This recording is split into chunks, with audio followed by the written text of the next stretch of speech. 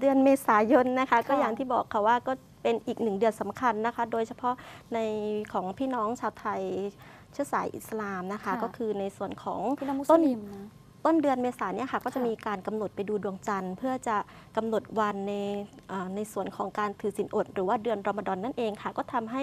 พี่น้องชาวไทยมุสลิมนะคะ ก็มีการเตรียมตัว โดยเฉพาะอินทผลัมค่ะ ก็ถือว่าเป็นอีกผลไม้มงคลนะคะที่อ่าเอามาไว้ในช่วงของการต้อนรับในส่วนของเดือนรอมฎอนค่ะ ค่ะชาวมุสลิมนะคะได้ไปเลือกซื้ออินทผลัมเตรียมถือศีลอดในช่วงในช่วงเดือนรอมฎอนนะคะบรรยากาศในช่วงใกล้เข้าสู่เดือนรอมฎอนหรือว่าเดือนของการถือศีลอด ของพี่น้องชาวไทยมุสลิมค่ะ ซึ่งจะมาถึงในต้นเดือนเมษายน 2565ทำให้ร้านค้าในเขตเทศบาลนครยะลาต่างคึกคัก ประชาชนชาวไทยมุสลิม ได้เดินทางออกมาเลือกซื้ออินทผลัมกันอย่างต่อเนื่อง เพื่อเตรียมไว้สำหรับการรับประทานหลังละศีลอด รวมถึงเลือกซื้อไปฝากญาติผู้ใหญ่ ซึ่งอินทผลัมค่ะ เป็นผลไม้ศักดิ์สิทธิ์ที่ชาวมุสลิม จะรับประทานหลังการละศีลอดสำหรับอินทผลัมนะคะ ทางร้านนำมาวางขายก็จะนำมาจากประเทศมาเลเซีย